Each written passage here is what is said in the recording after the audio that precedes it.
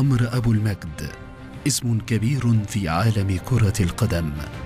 أكاديمي من الطراز الفريد. لم يتعامل يوما مع ساحرة المستديرة بمبدأ الفهلوة. علاقته بالرياضة تعتمد على العلم والتطبيق العملي. فصنع لنفسه تاريخا منفردا.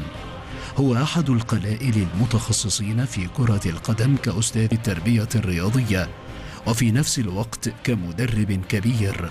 خاض الكثير من التجارب الفريدة وحقق الكثير من الإنجازات والألقاب. صدر للدكتور عمرو أبو المجد الكثير من الكتب المهمة التي ساهمت في تعليم وتثقيف مدربي كرة القدم في مصر والعالم العربي.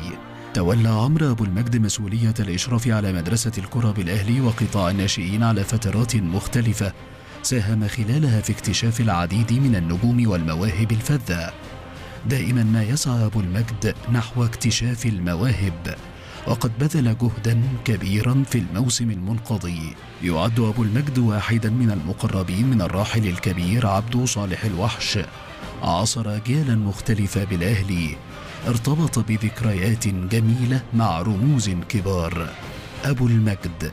يتحدث معنا اليوم عن قطاع الناشئين بالأهلي عن النجوم الصغار والمواهب الشابة عن ذكرياته القديمة ورأيه في مستوى المدربين بالكرة المصرية مع الدكتور والأستاذ في الأهلي يحاور.